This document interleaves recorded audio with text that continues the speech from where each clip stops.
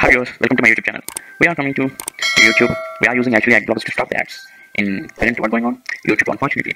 YouTube blocks the ad blockers like as shown on image. One select image. Ad blocks are not allowed on YouTube. It look like maybe using an ad blocker. Ads on YouTube stay free for billions of users worldwide. You can go ad free without you premium. Like this pop-up. Okay. Now I'll give you a new new new scenario for avoiding this type of pop-ups. How can you achieve that? Let's check out. Okay. First of all, what kind of ad blocks are used in your browser? Uninstall it. I'm giving you new extension. I will give in description also. Install that uh, U win uBlock Origin. This is the new extension. It is available on web store.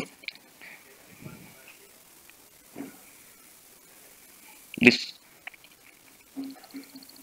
this ad blocker installed. Open the settings.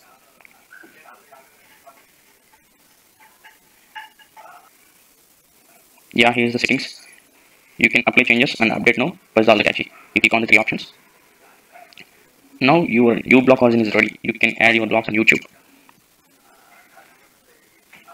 Once you follow all steps, what you necessary, all the steps, that's what's done. You didn't do nothing for later. Just now your YouTube is ready to see the videos without ads.